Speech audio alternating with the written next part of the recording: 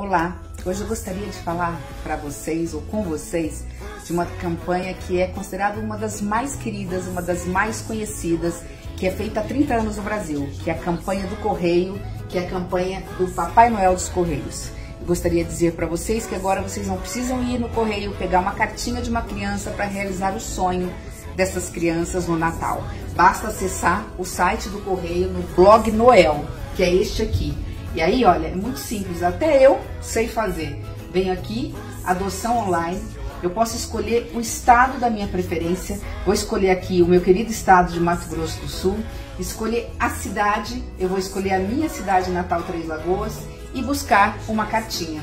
Aqui vão aparecer todas as cartinhas, são tantos os sonhos que muito interessante. Tem um menininho aqui que está pedindo um avião. Eu não tenho dinheiro para comprar um avião de verdade, mas também eu acho que não é isso que ele quer.